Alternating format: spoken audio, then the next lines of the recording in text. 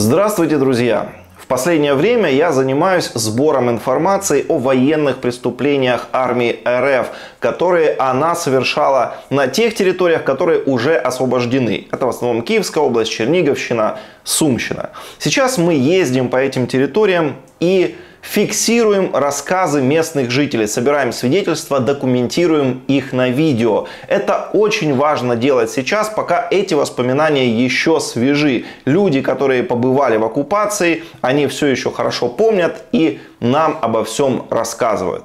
Э, все эти свидетельства я фиксирую на видео и буду выкладывать в том числе здесь на своем YouTube канале. Сегодня я представляю вашему вниманию такие свидетельства из села Миродское. Это село в Киевской области, которое находится рядом с Гастомелем. Мы побывали там, поговорили с бывшей главой сельрада Миродского Ольгой Джуз. Она была в оккупации. Она рассказала о том, как россияне убивали ее односельчан. Дальше я просто показываю вам на видео ее рассказ. Тобто отут напроти вас жив. е, Так, жив Вчора перезахоронили його. Трохименко Олександр Миколай, Миколайович. Миколайович, мабуть. А що А сталося що він саме? саме сказав, я була в хаті, в вікно так стала на коліна, бачу, якась метушня і бігають на другому поверсі. Видно, він їм щось сказав, і вони ото за їм бігали, бігали, у котельні догнали, застрелили. Ну, я не ходила дивитися, ну казали, очі були витягнуті. І щось, що таке скальпель? Скальпель знятий, Ой, жах. Не Скальп понімаю. зняти. Ну це волоси зрізані з голови. волоси. Да. Це от цей будинок, руки. правильно, де Да. цегла. І Це- руки зв'язані, і коло рук була граната. Це так дружина мені розказувала. Ну я не ходила. А, вон, а вони тут стояли.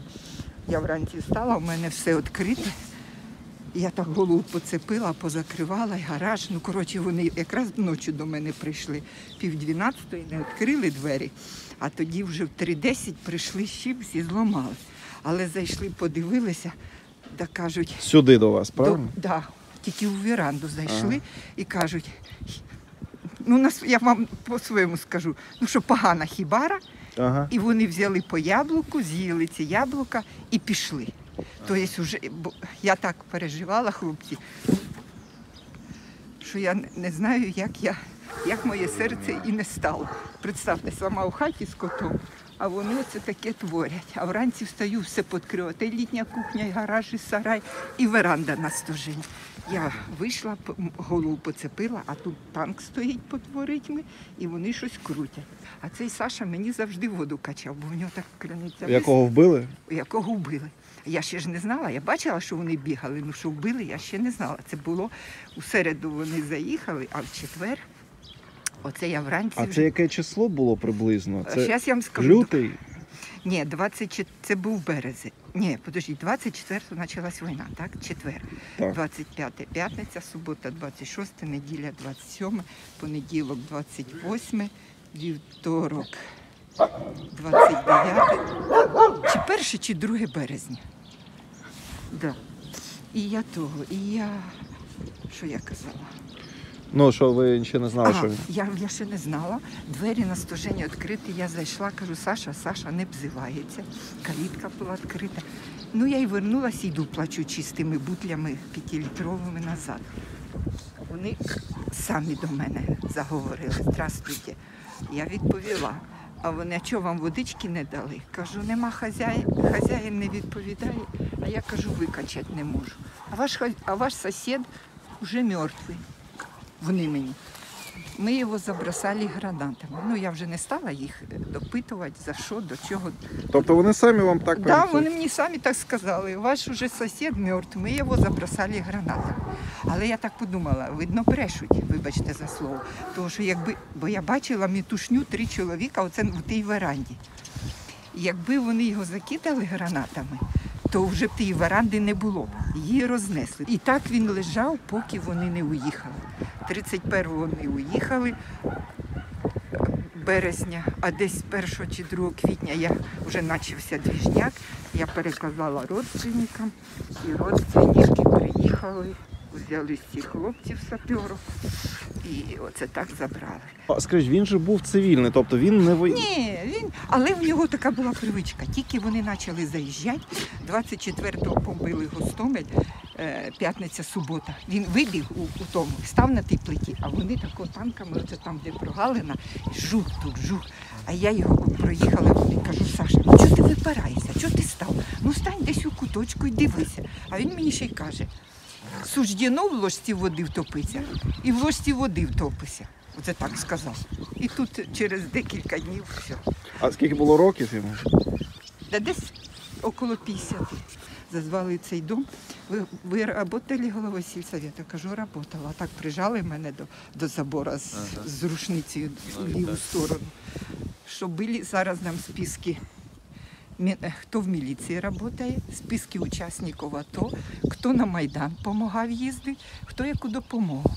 Ну, я вже, як кажуть, 5 років як робила головою, це було з 10 по 15 рік. Вже я трошки, як кажуть, загартована, знаю, що таке. Кажу, хлопці, уберіть цю штуку, я вам зараз розкажу. По-перше, кажу, вже з 15-го року пройшло 7 років. Хто робить у міліції, откуда я знаю. Вже кажу, за 7 років багато води втекло. Кажу, учасників АТО почали давати, вже я кажу, не працювало. Після 15-го року. Вони согласились з цим. На останнє, кажу, ніхто до сільську раду не приходив і не ставив птічку, що їде на Майдан і що везе. Це, кажу, було добровільне людське бажання. Все кажу, більш мене кажу, інформації нема. Хочете вбийте тут, кажу, вам не полегшає ж від цього. Оце таке було. Ну, коротше, тероризм. Мене тут у селі саме більше тероризує, тому що староста наш утік, а я, так як бувший голова сільської ради, А Скажіть, будь ласка, а тут ще може хтось, от окрім цієї людини, що ще десь є вбиті, де нам можна пошукати? Тут по. Тут у нас є, значить, я вам скажу, е, застрелили моєї, не моєї вчительки, а мого сина, вчительки, сина. Іваненко Людмила Петрівна. Значить, оце їдете по цій вулиці, і по цій же стороні, по правій, значить так, там Людчина хата, е, Самолінка. Четверта хата від краю буде. Людмила Петрівна Іваненко.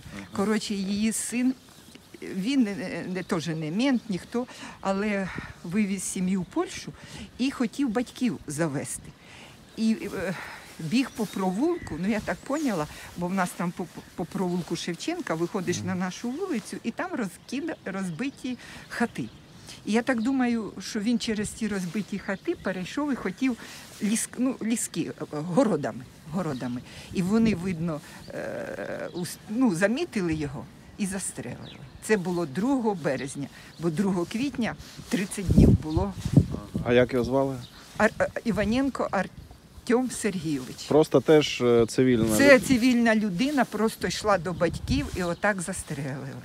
І там же, і там же рядом чер, оцієї Іваненко через дві хати застрелили ще одного парня. Ну він такий був, знаєте, кручений. Він мог десь щось улізти, в кудись якусь халепу. Ну такий, знаєте, як кажуть. Е- о, до хату його спаляна, матір знайшли, завезли в лікарню, а він, а його вбили.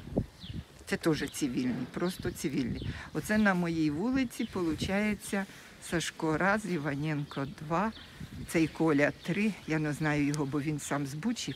Він в нас не був прописаний, як його фамілія. Ну, наче всі на нашій вулиці. Ольга Миколаївна, скажіть, будь ласка, тут кажуть, що от там от розстріляли якусь машину. Значить, машину розстріляли отут.